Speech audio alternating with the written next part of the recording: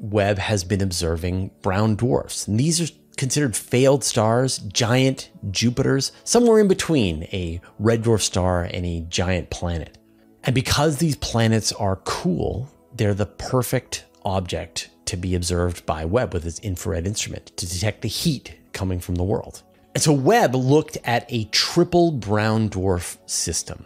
And in one of them, Webb was able to detect the presence of silicate in the atmosphere, sand. They were also able to see methane, carbon dioxide, carbon monoxide, sodium, potassium, and even water vapor.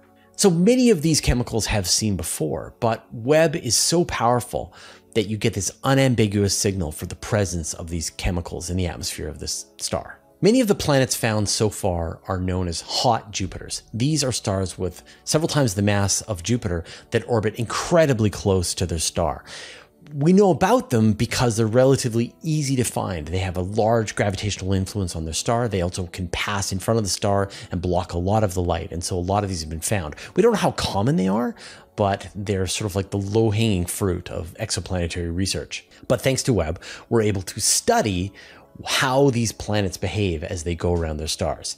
And so one of the most famous of these is called WASP 18b. And we've known about it since 2009. It just takes 23 hours to orbit around its star. This is a classic hot Jupiter. It has 10 times the mass of Jupiter.